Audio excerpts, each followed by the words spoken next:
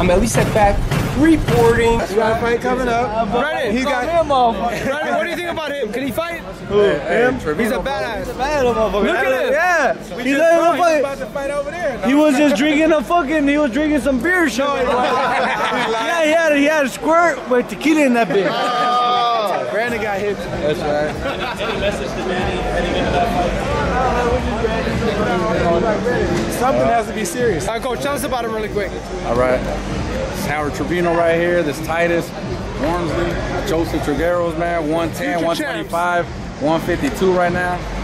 Hey, they're putting in work, man, and off the grid. Hey, come see us one day. We're gonna be up back on top, man. All right, there you have it. Stay tuned. We're Palmdale, Lancaster? Lancaster, man. Lancaster. East Lancaster. Reporting.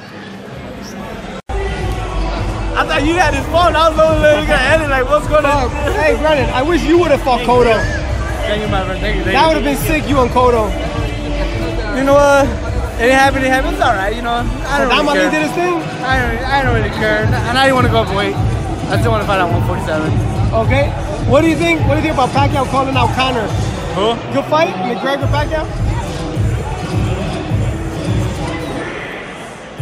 That's good. That's All why. right, message That's to you why. fans, Brandon. People love you, who watch you, are excited about Danny Garcia. You know, we're ready to fight, and we're just ready, and we just can't wait, and uh, we'll see what's gonna happen. You know what I mean? Uh, hopefully, in a week or two, we'll announce that fight, and it's gonna happen. It's gonna happen.